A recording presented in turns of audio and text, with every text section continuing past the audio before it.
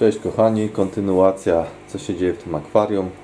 Powrzucałem tu tyle melanie, troszkę sinica odpuściła, yy, glony poszerzały, ale zacząłem stosować yy, śmierdzące bakterie. One tak wyglądają, a pokażę Wam jakie. Najpierw je wlejemy, zakręcimy. Będę to stosował raz na tydzień, raz na dwa tygodnie. Mimo, że tu azotanów nie ma, tak? NO3 raczej azotanów. Związków azotu na pewno jest, skoro żyją jakieś glony i inne stworzonka. Ale NO3 jest 0. Ostatnio mierzyłem z testem Saliferta nawet, przedtem JBL-a. Yy, czyli potwierdziłem dwoma testami, że jest to samo. Ale co ja wlałem teraz i po co to wlewam? Tym bardziej, że to co wlewam obniża NO3. Tak naprawdę to ja jakby nie chcę tutaj obniżać NO3.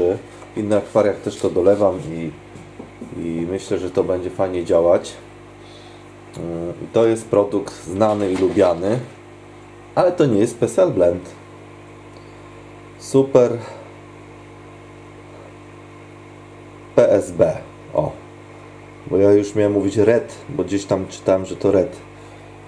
To są takie bakterie fotosyntezujące e, do akwarium słodkowodnego, morskiego i rafowego.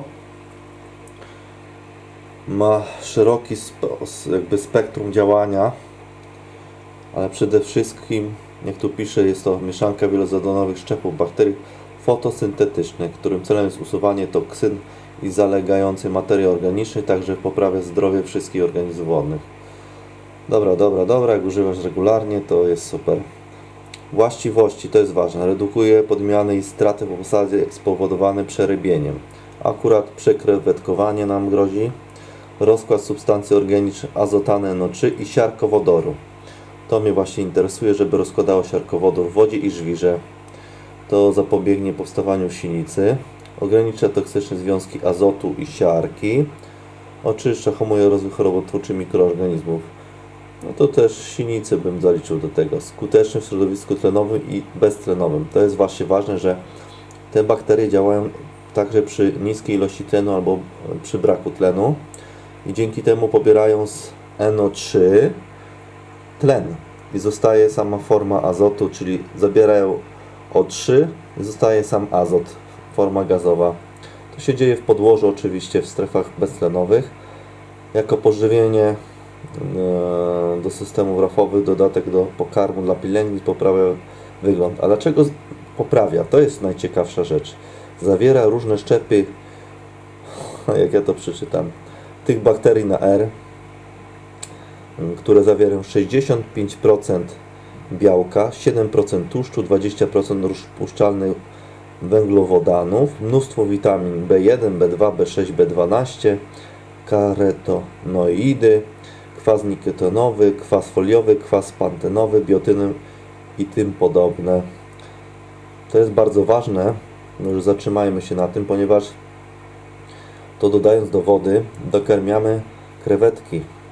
Krewetki również korzystają z tych witamin z grupy B, a jednocześnie spożywając te bakterie, jak one się osiądą gdzieś na skałkach, podłożu, one dostarczają sobie białka, tłuszczu i tych węglowodanów, tych witamin nam się wydaje, że te sztuczne karmy to są takie super duper, ale najważniejsze są bakterie dla krewetek i porost glonów, który daje im wapń, tak? Bo tutaj akurat e, bakterie nie mają wapnia w sobie, tak? Ani magnezu, ani nic takich związków, ale ma związki, które pozwala przyswajać ten wapń i budować ciało. I zawiera fotosyntetyczne polikolonialne bakterie Eurychalinous eurychermic odpowiednie do stosowania w akwarium słodkowodnym. Dlaczego ważne są też fotosyntetyczne bakterie? A Wam już mówię, ponieważ cyjanobakteria, sinica, jakikolwiek, potrzebuje do e, życia światła, fotosyntezy przeprowadza. A jeżeli wprowadzimy bakterie fotosyntetyczne, e, po, pożyteczne bakterie, to one będą wypierać, będą konkurować z sinicą i ją wcześniej czy później wyprą razem z bakteriami nitryfikacyjnymi w podłożu i w głębszych e, rejonach skały. Zawiera nie wiem, to jest miliard aktywnych bakterii w jednym mililitrze. No. Mi się bardzo podobają te bakteryjki. To jest azu. Aha, trzymać powyżej 4 stopni, no to dobrze. Dawkowanie jest akurat proste. Wszystko mamy opisane. 30 ml preta na 100 litrów wody po każdej podmianie, przerybieniu, zwiększenie dawki jak jest źle w akwarium. Tu mamy w odpowiedzi ile litrów, ile dawać na ile litrów. Na 300 litrów 90 na 260 ml. No to ja 60 ml to podałem, choć to jest 250 litrów. Leczenie, karmienie ryb. No to jest ciekawe, że dodając do pokarmu ryby lepiej po prostu przyswajają różne związki, jednocześnie się pewnie detoksykują. Azu, azo, azu, azo. To są te bakteryjki fotosyntezujące. Super Red PSB, gdzieś to widziałem kiedyś taki napis. No i powiem Wam tak, e, nie mam dużego doświadczenia z tymi bakteriami, ale słyszałem dobre opinie, tam mi parę osób e, powiedziało, że stosowała i jest z nich zadowolone. Ja stwierdziłem, że sobie kupię taki litr. Litr to nie jest dużo, jest to, one są dosyć tanie, niecałą stówkę kosztuje litr, 85 zł. No i tak, krewetki, e, co tu były, takie resztki, co, co, co tam jeszcze gdzieś tam się chowają no to powiem Wam, że żyją i przychodzą wylinki. Tutaj Wam pokażę po, po, poranną wylinkę. Przedtem zdychały, teraz przychodzą wylinki. Mi się wydaje, że zaczęło dojrzewać, zaczął dojrzewać zbiornik, ale musiałem dodać jeszcze jeden filterek, który mi rusza taflą wody, ponieważ tamten filtr, tam z tyłu coś schowany, co porusza tym napowietrzaniem, on nie wyrabiał i stwierdziłem, żeby rozbijać e, bakterie, biofilm bakteryjny, to muszę poruszać trochę taflą wody, żeby była wymiana gazowa, żeby miał odpowiednie pH. Tutaj sobie pływa jeszcze e, ta roślina Boży się nazywa, no. E, pływająca roślina, no.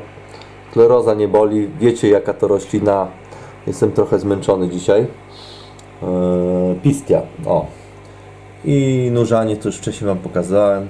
On akurat w ogóle nie rośnie, ale mi się wydaje, że to ze względu na to, że dopiero akwarium dojrzewa.